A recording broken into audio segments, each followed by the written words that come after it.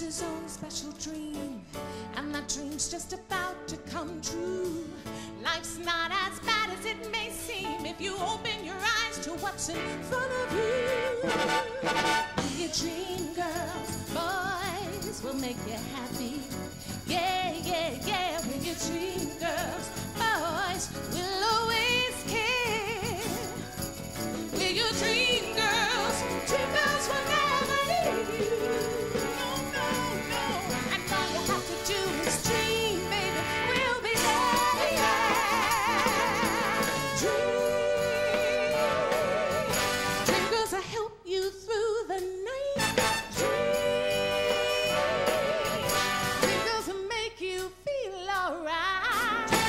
dreaming your whole life through. You're